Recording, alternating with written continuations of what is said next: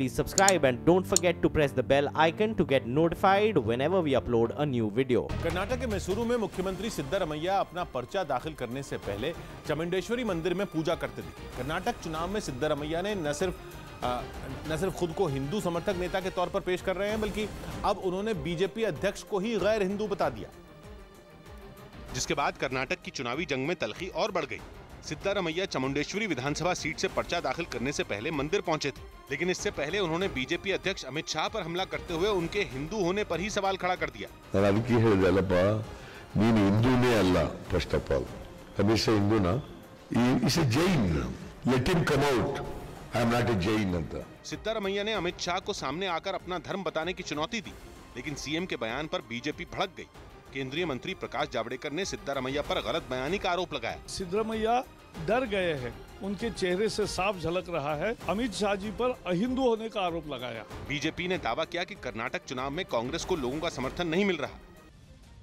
केंद्र सरकार यूपी की सत्रह पिछड़ी जातियों को अनुसूचित जाति में शामिल करने की तैयारी में है। मिशन 2019 से पहले इसे बीजेपी का बड़ा सियासी दाव माना जा रहा है। जानकारों के मुताबिक यूपी में मायावती और अखिलेश यादव की जुगलबंदी को देखते हुए बीजेपी के रणनीतिकारों ने ये तोड़ निकाला है। माना जा रहा है कि इसके ज़रिए बीजेपी मायावती और अखिलेश यादव के कोर वोट बैंक में सेंध लगाना चाहती है।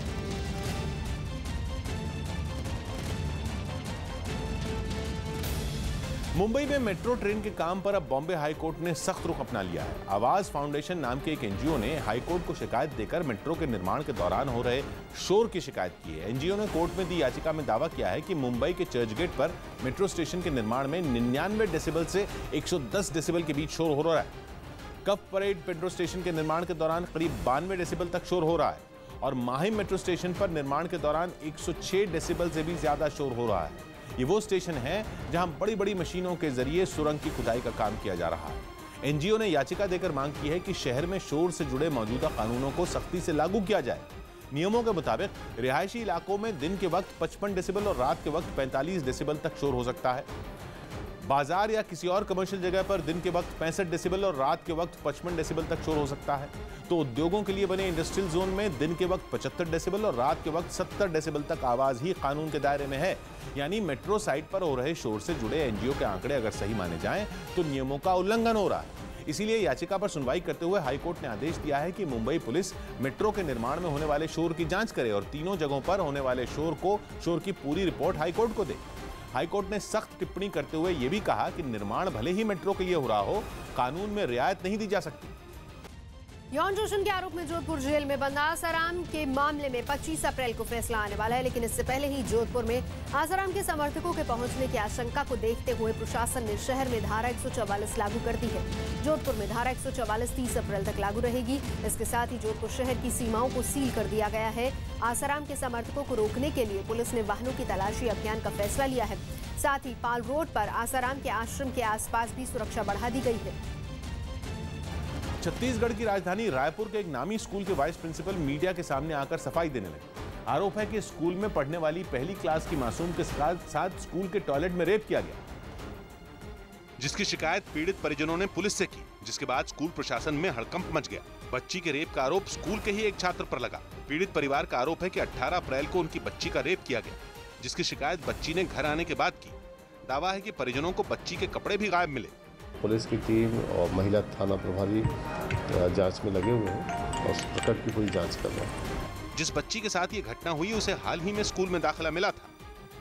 आरोप है कि घटना के दिन बच्ची का स्कूल में पहला दिन था लेकिन स्कूल प्रशासन ने रेप के आरोपों से साफ़ इनकार कर दिया।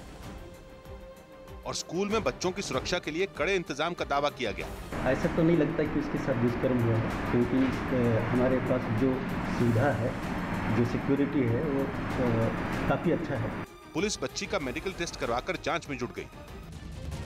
हरियाणा के भिवानी में एक ई दिशा केंद्र में कंप्यूटर ऑपरेटर का काम एक एसडीएम अधिकारी करते दिखे। हरियाणा में कंप्यूटर ऑपरेटर हड़ताल पर हैं और इसीलिए एसडीएम ने खुद कंप्यूटर ऑपरेटर का काम किया। ताकि हड़तालियों को ये पैगाम दिया जा सके कि उनके काम पर न आने से सरकारी कामकाज पर खास असर नहीं पड़ा। एसडीएम सतीश सैनी ने न सिर्फ़ कंप्यूटर ऑपरेटर का काम किया, बल्कि खुद वाहनों का रजिस्ट्रेशन भी किया। ऑपरेटरों की हड़ताल की वजह से ई दिशा केंद्रों के कामकाज पर असर पड़ा, इसीलिए प्रशासन ने उनकी जगह नए लड़के लड़कियों को काम पर लगाया है। लेकिन उनमें से ज़्यादातर प्रशिक्षित नहीं है, इसीलिए एसडीएम ने दिन का काम निपटाने के साथ ही नए लड़के लड़कियों को कंप्यूटर ऑपरेटर के काम का प्रशिक्षण भी दिया। महाभारत युग में इंटरनेट की सुविधा का दावा करने वाले त्रिपुरा के मुख्यमंत्री बिप्लब कुमार देव एक बार फिर अपने बयान पर कायम दिखे। तो हमने यही किया, उस समय ऐसा कोई टेक्निक थी, वो इंटरनेट की जैसा ही थी तो नहीं तो कैसे बता सकता है? और वो प्रमाणित हो गया लाखों साल पहले इस ग्रंथ में जो लिखा हुआ था, वो आज जाके वो हो चुकी है। अबू सलीम ने 5 मई को शादी करने के लिए तलोजा जेल प्रशासन से इजाज़त मांगी है। जेल प्रशासन को लिखे अपने आवेदन में अबू सलीम ने शादी के बाद 45 दिन की परोल भी मांगी है। अबू सलीम ने अपने आवेदन में लिखा है कि वो अपनी होने वाली पत्नी कौशल बहार से शादी के बाद कुछ दिन मुमरा में बिताना चाहता है। कौशल बहार पेशे से वकील है और उसने 5 मई को अबू सलीम से शादी की पुष्टि की है। अबू सलीम उन्नीस सौ तिरानवे के बम धमाकों के मामले में फ़िलहाल उम्र कैद की सजा काट रहा है।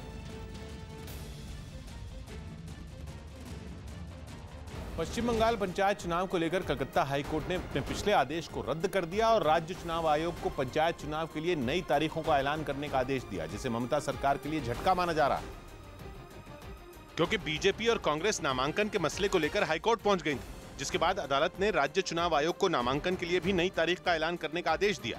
इलेक्शन कमीशन को सब पार्टी के साथ मिलकर तय करना चाहिए जैसे कि ये पंचायत चुनाव ठीक ढंग से हो। जस्टिस ने बताया ये election commission has to announce new nomination dates हालाँकि इससे पहले राज्य में पंचायत चुनाव एक, तीन और पाँच मई को तीन चरणों में कराए जाने थे, जिसके लिए नामांकन पत्र दाखिल करने की आखिरी तारीख 9 अप्रैल थी। जिसके बाद आयोग ने नामांकन की तारीख एक दिन और बढ़ाते हुए 10 अप्रैल को कर दी। लेकिन बाद में आयोग ने इस आदेश को वापस ले लिया था। लिहाजा बीजेपी आयोग के इस फैसले के खिलाफ सुप्रीम कोर्ट चली गई। लेकिन सुप्रीम कोर्ट ने बीजेपी की याचिका पर सुनवाई से इनकार करते हुए उसे हाई कोर्ट जाने का निर्देश दिया था। ऐसे में हाई कोर्ट से अपने पक्ष में फैसला आने के बाद बीजेपी राज्य चुनाव आयोग को घिरने से नहीं चूकी।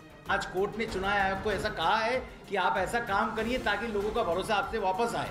हालाँकि कोर्ट के आदेश के बाद भी लेफ़्ट ने नामांकन के दौरान सुरक्षा के मसले को लेकर चिंता जताई और इस मांग को आयोग के सामने रखने का ऐलान किया।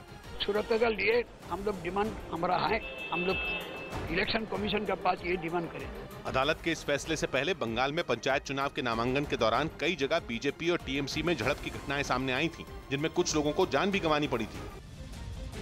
उत्तर प्रदेश के हाथरस में एक घर के बाहर भारी भीड़ जमा दिखाई दी। इस घर की छत पर रखी एक बोरी से एक दिन से लापता एक छह साल की मासूम का शव मिलने से सनसनी मच गई। और नाराज़ लोगों ने उस मकान के आसपास जुटना शुरू कर दिया, जिसकी छत पर रखी एक बोरी में छह साल की बच्ची का शव मिला। उस बोरी से खून रस रहा था और इसी वजह से बोरी में शव के होने का पता चला। पुलिस के मुताबिक ये शव इसी घर के पड़ोस में रहने वाली एक मासूम का है, जो घटना से एक दिन पहले से लापता थी। कल एक बच्ची जो है, वो अपने घर से ताऊ के वहाँ गई थी खेलने के लिए, जैसा परिवारजन बता रहे हैं। तो वहाँ ताऊ वहाँ पहुँची नहीं। हालाँकि पुलिस मामले की जाँच में जुट गई है, लेकिन आशंका है कि बच्ची का रेप करने के बाद किसी ने उसकी हत्या कर दी।